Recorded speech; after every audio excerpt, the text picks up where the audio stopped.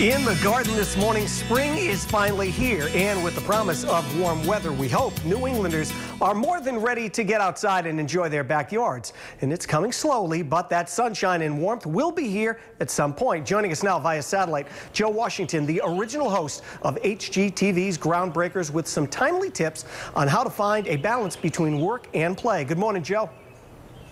Good morning. How you doing? Good. Good to have you with us. Many a Saturday uh, Saturday morning I have spent watching you on TV for hours and hours and hours on end. So we're glad you're with us today. and We need to get to it first.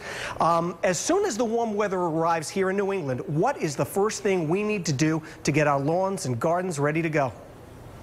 Well, here's something you can do right now. Come up with a plan for your lawn and your garden. This is a good time to take inventory. Find out what plants you have, what you want to keep, what you want to get rid of. It's a great time to move plants around, change your landscape a bit, and cut the dead wood off of your plants. Um, you're also going to want to pay attention to your grass, and it's moving up, probably once you get into the 70s, it's a great time to lay down some fertilizer. Go to the Home Depot and get this Vigoro lawn fertilizer. It has more fertilizer grains per square foot, which prevents drought and heat damage, and it'll also green up within 72 hours. Be sure you put it down with a good spreader so you get a nice, even uh, put down of the fertilizer.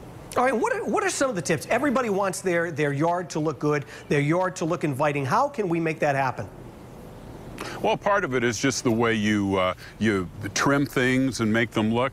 Got a great selection of tools here from Echo. You can also find these at the Home Depot. This is their string trimmer. It's got the same power as a gas trimmer thanks to this 58 volt battery. Now this same battery will fit a chainsaw, a blower, a hedge trimmer, and a lawnmower. It recharges in less than an hour, and it's a good idea to have an extra battery because you don't want to interrupt those chores, okay? Now, gonna have to water in that fertilizer that you put down earlier. Rainbird has an in-ground automatic sprinkler system uh, that is easy to install. It's installed by the homeowner in less than a day for less than $200. Now to complement that, especially in areas that have a lot of drought, is their subsurface emitter tubing system.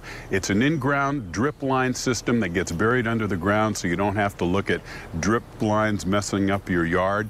Um, this is great for organic gardening uses 70% less water than a traditional irrigation system, puts water right at the roots of the plants where it needs to be. Joe, it's all good stuff. We have been buried under snow for, for months now.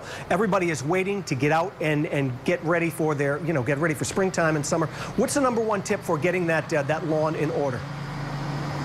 Well, getting the lawn in order again is uh, fertilizing. Make sure you put down the right fertilizer, the right amount, and also watering it in well. One more tip, since you got some more cold weather, it's a good time maybe to do some painting inside. That's where Frog Tape comes in. It's the only brand to feature paint block technology.